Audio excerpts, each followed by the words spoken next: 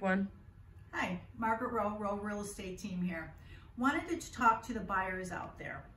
I came across a situation this last week, little upsetting for some new sellers.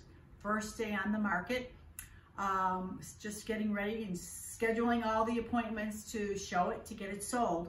Well, I got a panicked call, or I should say Jenny, my assistant got a panic call from our new seller. She was very concerned. There was someone walking around the outside, the front yard, the backyard, all the way around the house and peeking in the windows. Not a good thing to do, buyers. Never ever do that. These particular buyers did not even have an appointment. They saw it come up on one of the many sites out there that we advertise on and decided to take it upon themselves to walk around the property without their agent.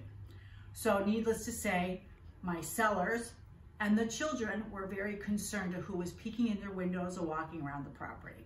Because of course I never prepared them that a buyer would even do that.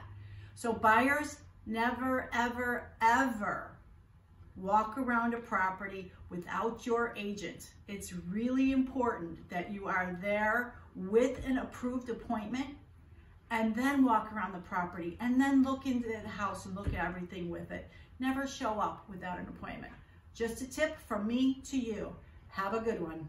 Take care.